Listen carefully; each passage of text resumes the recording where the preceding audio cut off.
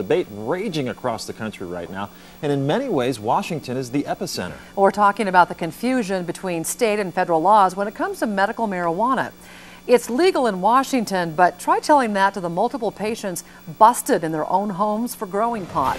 KXLY4's Colleen O'Brien is here now with her special report. And Colleen, where is this confusion? Well, it all started in early October when a group of hysterical, and I mean hysterical medical marijuana patients contacted us at KXLY and told us that their grow, as well as their neighbor's grow, mm -hmm. was being raided by city police. They displayed their license and medical marijuana cards given to them by doctors. They assumed they were doing everything right. But when you set federal law next to state law, they were actually committing felonies. There was a time in Spokane when medical marijuana dispensaries outnumbered Starbucks coffee shops 5 to 1. They operated freely and openly along busy Spokane streets. And in homes across Spokane, medical marijuana patients tended to their own grows and smoked behind closed doors. I got six herniated discs in my back. I, uh, in 2003, I was told I had lung cancer. In 2005, I was told I had stomach and esophagus cancer. 2009, they removed the esophagus and about two-thirds of the stomach, used what was left to make a new esophagus. Marijuana is the only thing Ernest Felch has to make cancer's aftermath tolerable. Because when cancer hit in 2005 and doctors removed his organs, the strapping 6 foot 1, 230 pound man withered to 116 pounds. When they told me I had cancer, then I was thinking, you know, if I'm having a problem with my weight, let's try some marijuana. Felch and other medical marijuana patients will tell you the same story of disease and ailments. I was depressed to the point where I was thinking, you know, why am I here anymore? I mean, you know, I, my kids are growing up. I'm going through hell to stay alive. For what? A fistful of pills that never seem to work. You know how many side effects pills have? And the miracle marijuana that changed their life. It's helped a lot. I don't think I'd be here right now if I wasn't using it. Finally, with the help of pot, Felch was able to sustain the life cancer had left him with.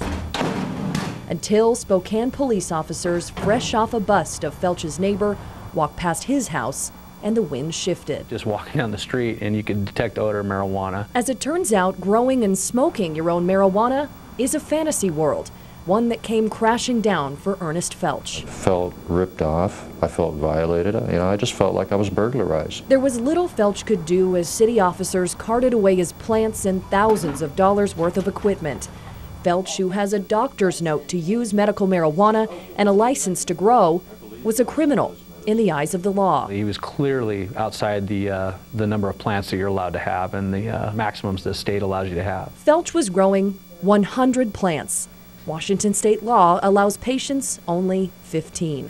But Felch has a doctor's note that says otherwise. And as many plants as the patient feels necessary to maintain this 60-day supply. This is the crossroads where the law and medicine collide in Washington state. A doctor can't prescribe, only recommend marijuana as a treatment. But it's illegal for a doctor to tell you where to get plants or seeds. A medical marijuana patient is allowed 15 plants or a 60 day supply though the law doesn't define what a 60-day supply looks like. We will hear, well, my doctor told me I could have X, Y, or Z, or, or my friend who's a medical marijuana patient told me.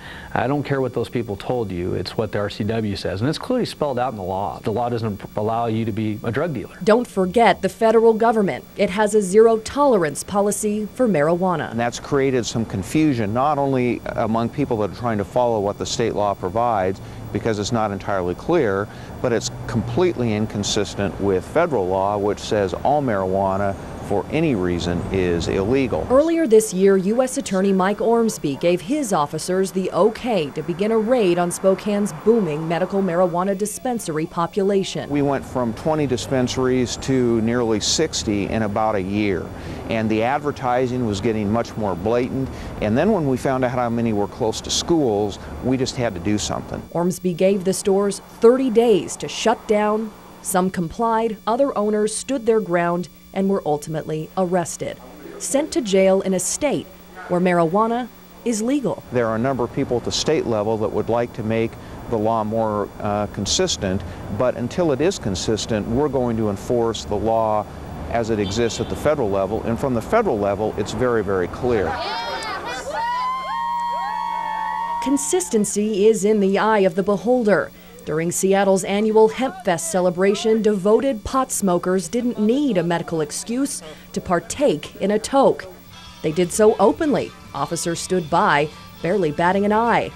280 miles away in Spokane, a full crackdown is underway. And this is just my personal philosophy. We don't try to pick and choose what laws we're going to enforce.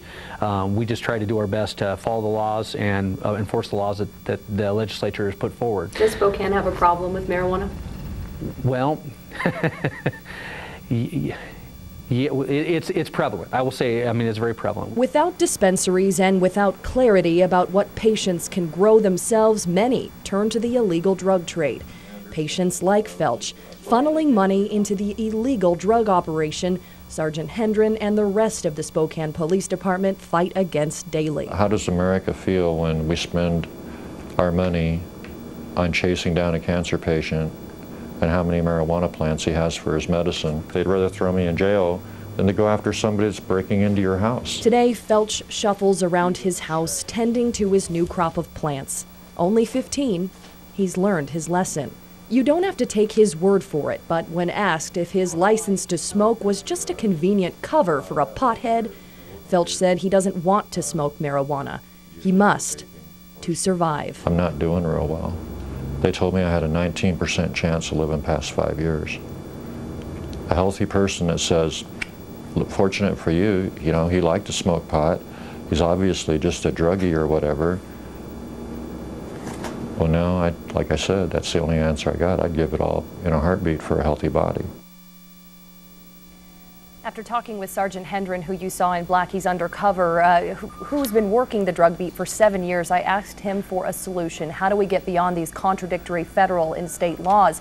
He said a registry would help officers differentiate between legitimate medical marijuana patients and those operating an illegal grow. A registry, he said, would save officers time and money so they could go after the real bad guys.